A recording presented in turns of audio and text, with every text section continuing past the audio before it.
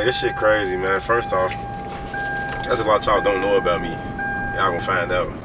I'm like really gonna open up to the public just because I'm humane, so I don't get no fuck. I'm gonna let you know what you wanna know, I'm gonna let you know what you don't wanna know. Because this shit is real. And one day, when I'm at the top of my success, this is always gonna be the pinnacle of it. I want folks to know that you can still accomplish things while you're going through adversity. But it's a lot of fucking shit going on. Y'all only get the good part of it. So. Hey, hey, hey. Feel, my nigga.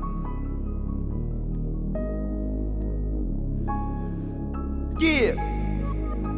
Basically like two hours. Hey, it's the B. like, I just my plan was to push it as long as I can push that shit. Like I I'm- said- I don't want to be like everybody else, drop a mixtape, get a little buzz. Before you know it, two three months later, you dropping another one. Wait, you just you ain't even see what you can do with this one yet. You ain't even see if you can get on or get signed or get to the radio or nothing. That's just that's to me that's a waste of music. How everybody just be dropping shit, loading shit up, and then moving on to the next.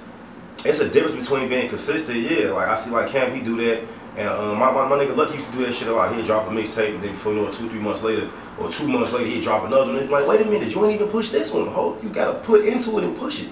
You gotta make yourself seem like you're already in the industry. You can't always, uh, oh, well, I ain't on yet, so I gotta scratch and snarl. You could come from that angle, but then you still gotta be confident enough to do research and then make it seem like you're already in the industry. These past six months, we've been doing these shows, and, and since I've been going out to the clubs and all that, like in my mind frame, I feel like I'm already on. I, I go in that humble and as a starving artist trying to get on, but then at the same time, I, I place myself to think if I'm already on, how would I carry myself? How would I act? How would I act to the DJs and the promoters? How would I act to my, my crowd? How would I act to my, my artist mates, my label mates?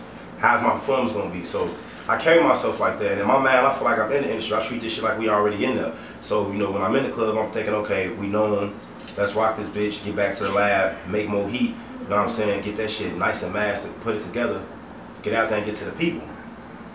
It took a lot of weed, liquor, and, and electricity, you know what I'm saying, to make these these these songs. And then before you know it, these songs are not even cherished and remembered or even pushed. Like you could bring a song out right now, somebody like, that shit hot. That shit hot. Right, it's hot. Then they say it again the next week. Smoke blunt with you to it in the car. But then like a week after that, do they still remember it? Do they give a fuck about it? And then are you still putting it in their face? Are you still putting it out there around their ears for them to still be for it to still be relevant to them? No, it, it goes to waste. And that used to scare me. Like, what if I put my heart and soul into like 13 tracks and motherfuckers didn't accept it? It'd be the same thing as me putting my heart and soul in a double CD that it could buy to 26 tracks. I feel like that way I can't fail. Oh, you don't like this? I got something else. You don't like that? I got something else. You don't like that? I got something else. You don't like that? I got something else. Ain't gonna stop. Pretty soon you're gonna like something, and then it's gonna go back to that project. This is where it came from. You're gonna accept the project. I no choice. And I feel like confidently like, outside my city, know what I'm saying? I know that my project can be accepted. Like I really feel like that. If I went to any other label, any other venue, and displayed my project, you know what I'm saying? It'll open up big doors for me, you know what I'm saying? So until I get there, of course I gotta run with my city. And I think I'm doing a good job. I'm in one of the hottest clubs in the city, and I'm getting known. I got tracks that's been getting played on the radio consistently. Two songs, two singles. Uh, like man, it's just and then there's adversity going on too, so I'm trying to make sure I, I don't get caught up in the negativity and still try to push this shit. This shit, this is a long premeditated plan, man. Like I was sitting on the bench watching everybody do their shit, and I was proud, and at the same time I was a little upset because I was like, damn, I should have did this a certain way. Like, I can't wait till I get my time. I'm gonna sit patient to get my shot, and then I'm gonna do it the way I planned it out, and hopefully I'll be successful with my plot. So far, it's looking like it's working because everything I plotted and planned to do, shit, it's been, it's been in rotation. I put the album together, I took my time on it.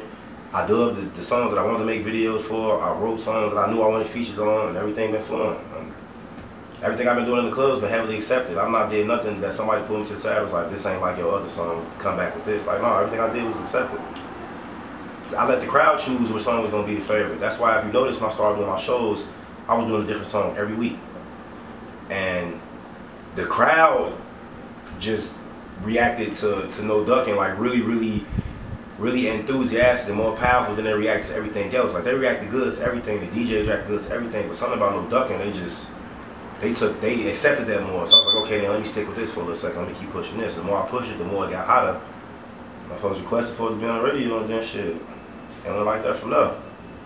Like that's that's my idea for the I Am Dane project. Like due to my age base, I feel like it's just a dying art. Like people, I feel like they don't care about their talent that much. Where they just they found the way to milk the game. I mean, it's a business. We need revenue, but it's just like you cheating the art of the music. Like you know, I'm just gonna drop ten songs or eleven songs, and half the songs is gonna be a hook and a verse, and It's like, but you cheating. You know what I'm saying? It's like, and then the more people doing that, the more they're changing our perceptive of how we, how we perceive the music. Like, like I rock my nigga, my, my nigga ill. Like my nigga ill tell me like he more accustomed to short songs.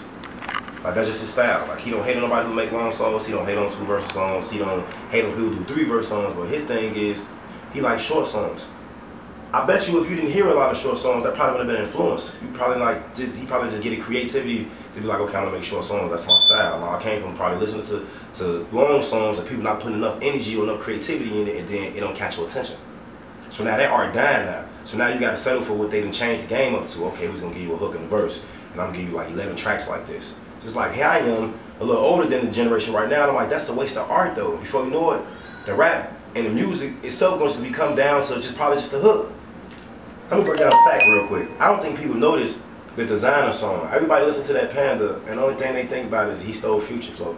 I think people missed the key message in that song.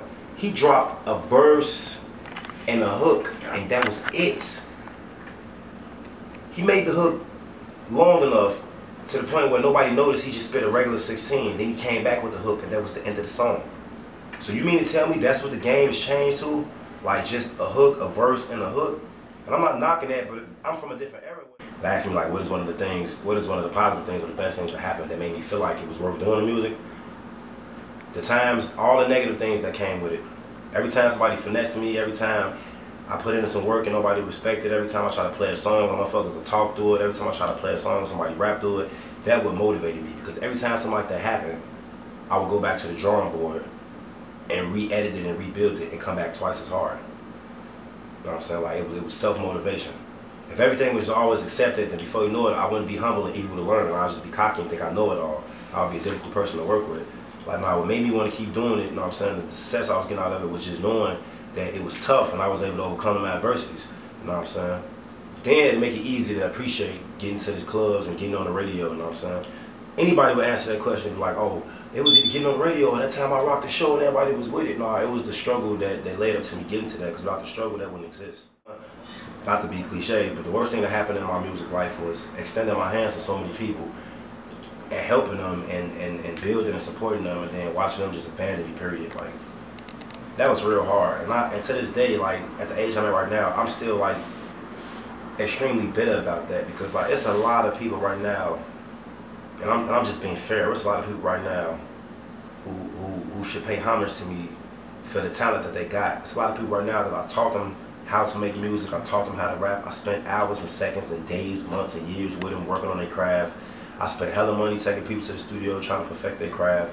And when I looked up, I never got shout outs. I never got invited to no videos and no studio sessions. And I sit back and be like, if it wasn't for me, you wouldn't even know how to do this. And whatever fame or whatever happiness you get or whatever revenue you get off this, like you wouldn't even be getting that if it wasn't for me. So that was like one of the main things that hurt me doing this music shit. The second thing that hurt me doing the music shit is fake success. This is this is my my contra contradicted answer to the other question you asked me about what was the most what was the most painful shit, you know, the fake success. When somebody like this song cold or somebody like, gee, this album hot, gee, I'ma fuck with it, and then like you never hear nothing else about it, like that's painful. Cause when you like something, you consistently fucks with it. Like I like to smoke weed, I smoke weed every day. I like to get ass, I try to get ass as much as I can. I like raising my kids, I do it all the time. I like to work, I always try to keep a job. I like to clean up my house. When you like something, you know what I'm saying, it's consistent. You stay fucking with it, it's the flow of it. You know what I'm saying? That's one of the biggest things I can't stand. It hurt, it hurt like a motherfucker when I make a track and somebody feeling that shit right then and there. But then later on, they don't know nothing about it. Or I cut it on and don't get that same vibe. Like that sucks. Like that, that sucks. Or you do a show motherfuckers like, gee, you killed it, you killed it. Like, do you really feel like that or that's because you're just supposed to do that out of sportsmanship? Like, I don't, I don't like fake success. I want success to be real. I want a motherfucker to be like, gee, that shit was hot. And then the next day they see me, they still telling me that that past shit was hot. They still support it in the present. They still fuck with it in the future. Like, like I'd rather have it like that. I gave myself a name Ace because when I was growing up, I didn't have a nickname. Everybody had nicknames, and I played sports. I played every damn sports team in my high school. So I nicknamed myself Ace now, and I try to help how it grow on to people. Nobody wasn't accepting it yet. When I started rapping in high school, motherfuckers started accepting it. When Paid in Full came out, for some strange reason, everybody on my block and in my hood, my part of the hood, start calling me Boogie. You know, so then before you know it, I, I, I kind of dropped the Kid Ace thing. Because, like, the kid thing was hot as hell. Kid this, kid that. I kind of like dropped the kid Ace thing, and then it was okay. I'm Ace Boogie. I tried to put it all together. Kid Ace Boogie. But it's like alright, I dropped it. And then before you know it, like I looked up and there was a million Ace Boogies in Chicago. You know what I'm saying? So I'm like, okay, man, how could I probably unique it and abbreviate it? So I kept trying to find ways. You know what I'm saying? And then my nigga Lucky, when we used to go to the studio, every time he used to see me, he used to always shout out like, "Hey, Boog!" And for some strange reason, they used to give me geek. Like, I swear to God, I cannot make this shit up. He'd see me across the street. We both would go to the same studio. He'd go get some blunts. He'd peep me, like, hey, Boog! And then before you know it, I was just like, man, that's hot. It, the way I reacted to that, I'm like, man, I, I wish everybody called me. If I was in the industry and everybody like, hey, Boog, and I looked up and got on charge and shit, I could perceive whatever image I'm trying to get out there. So it was hard because my name is Ace Boogie, but like, it's like I'll drop it. Ace Boog sound a lot better. It felt better, stronger. You know what I'm saying? You know, it sit, fit me. It's unique. It's different.